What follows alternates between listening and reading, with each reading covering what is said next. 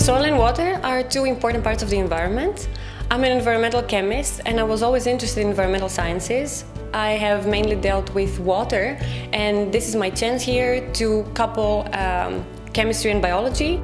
By coupling soil and water fields, you can couple biology and chemistry. We're interested in how air and land and water determine where and how life exists on Earth. And at the same time, we know that all forms of life, from microbes to humans, they have the power to change their environment. So by looking at the soil and water interface, we can study the biology, geology, and chemistry, how these systems are coupled, and how life and Earth interact. So soils are the most uh, diverse ecosystem on Earth.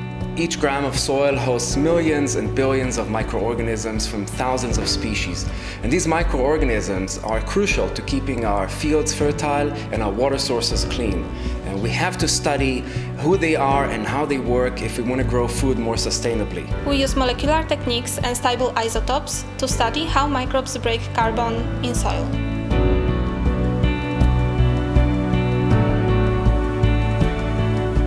I study soil because it can help us mitigate climate change. We study soil and water not only because survival of mankind depend on it, but also because it's great adventure. Contaminated sediments are harmful for freshwater ecosystems and human health.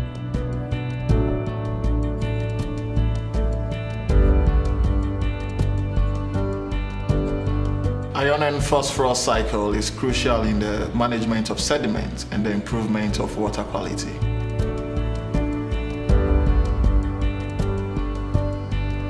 Water movement influences chemical reactions in the sediment-water interface.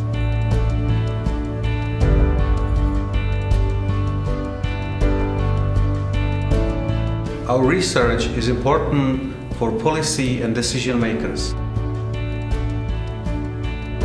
I study soil microbiology. I love my job. I'm interested in studying soil and water because they are both elements which are very important for functioning of ecosystems around us. I study plant-soil microorganism interaction and how water affects the functioning of the system as a whole.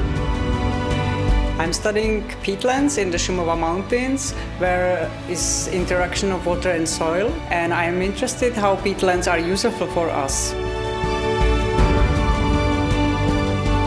I started studying aquatic invertebrates like 10 years ago now, and even now I still find that it's fascinating.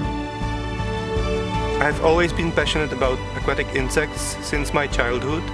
And a few years back I found that they are an ideal case study group to look at the consequences of climate change on small standing water bodies. I studied this subject because contamination of soil and drinking water sources is probably one of the most problematic issues for the nearest future.